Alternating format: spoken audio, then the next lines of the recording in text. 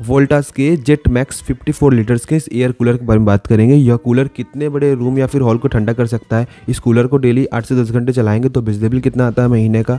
इस कूलर में क्या मेंटेनेंस रहता है? वारंटी कैसी है? सर्विस कैसी है? यह जो कूलर है, इसका एयर थ्रो कैसा मिलता है आपको? एक एक चीज़ हम कवर करेंगे। वीडियो को पूरा एंड तक देखेगा और इसमें वाटर फिलिंग किधर से होगा? एक एक चीज़ आपको बताऊँगा। वीडियो को पूरा आप एंड तक देखिएगा ताकि आपको पता चल पाए एक एक चीज़ डिटेल में। और यह जो कूलर आपको ऑनलाइन ही सस्ता मिल रहा है तो डेफिनेटली आप ऑनलाइन बाई कर सकते हैं। बेस्ट बाई लिंक मैंने इस वीडियो के डिस्क्रिप्शन में दे रखा है। वीडियो के टाइटल पे क्लिक करिएगा डिस्क्रिप्शन बना जाएगा, वहाँ पे आपको लिंक मिल जाएगा इसको खरीदने का।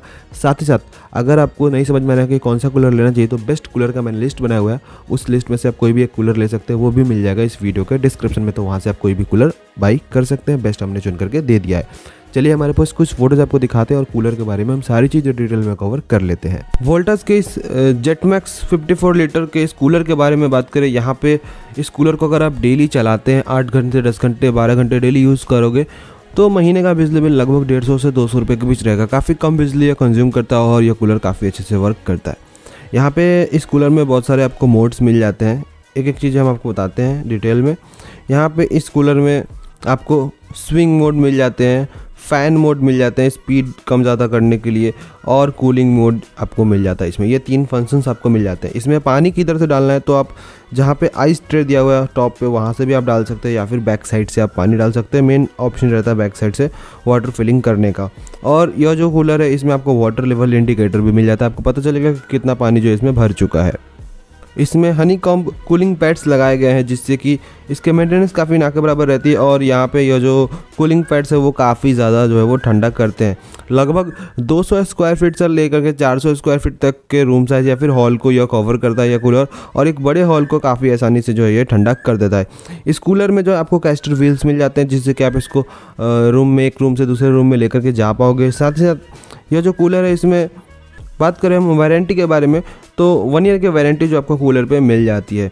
यह जो कूलर है दोस्तों, आप इसको इसको इन्वर्टर पे भी चला सकते हैं बिना किसी परेशानी के और काफ़ी अच्छे से काम कर जाएगा और कोई कट ऑफ़ आपको देखने नहीं मिलेगा। और यह जो कूलर है, इसमें आपको हर दो से तीन दिन में पानी चेंज कर लेना चाहिए ताकि पानी जो है वह स्मेल ना करे। कोई भी कूलर आप यूज़ करते हैं, अगर वहाँ पे पानी जो है दो से तीन दिन में चेंज करते रहेंगे तो पानी फ्रेश रहता है और आपको ठंडी हवा मिलती रहती है फ्रेश एयर मिलती रहती है। कूलर को यूज़ करने का बेसिक तरीका यही रहता है।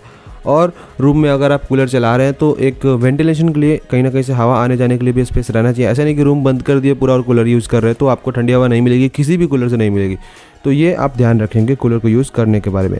और इस बजट में जो भी बेस्ट कूलर आते हैं, सभी का लिंक मैंने इस वीडियो के डिस्क्रिप्शन में दे रखा है, वहाँ से भी आप कोई कूलर ले सकते हैं, अगर आपको यह ना समझ में आ रहा हो तो। बेस्ट एक बजाज का भी एक कूलर आता है, उसका लिंक मैंने दिया हुआ एक बार देखिएगा, इस वीडियो के डिस्क्रिप्शन में वहाँ पर आपको मिल जाएगा, उस कूलर को भी आप कंसिडर कर सकते हैं। यह जो कूलर है वोल्टास का कूलर इसमें आपको नॉइज़ लेवल काफ़ी कम मिलता है। जब चलता है तो काफ़ी स्मूथली चलता है, ज़्यादा आवाज़ जो है वो प्रोड्यूस नहीं करता है।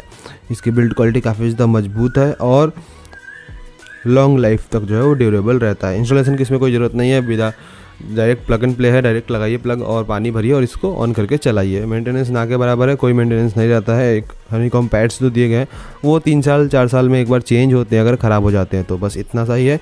बढ़िया कूलर है डेफिनेटली आप इसको बाई कर सकते हैं। इसको खरीदने का बेस्ट बाई लिंक इस वीडियो के डिस्क्रिप्शन में दिया हुआ है, वहाँ से आप ले सकते हैं।